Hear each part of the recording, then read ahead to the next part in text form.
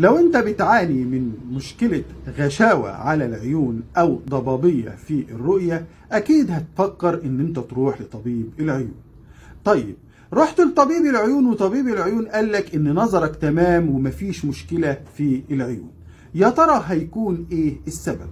ده تفكيرك اللي هيروح لي أنا معاك دلوقتي عشان أقول لك الأسباب.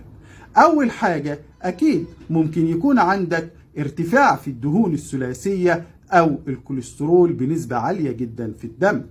تاني حاجة يكون عندك السكر عالي جدا وانت مش مسيطر عليه. تالت حاجة هيكون عندك أنيميا حادة. ممكن تكون توصل أقل من العشرة. في الوقت ده علشان إن أنت تتعالج لازم تعمل إيه؟ هقول لك الحاجة اللي بتزعلك في الفيديوهات. لازم تعمل تحاليل أكيد عشان نعرف السبب ونبدأ نعالجه. أول حاجة تحليل للكوليسترول والدهون الثلاثية. تاني حاجة تحليل السكر التراكمي.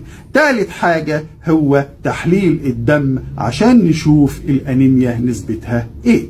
هل في أنيميا عندك ولا مفيش أنيميا؟ والأنيميا نسبتها قد إيه؟ طبعا كل سبب من الأسباب دي بيكون ليه العلاج المناسب بتاعه.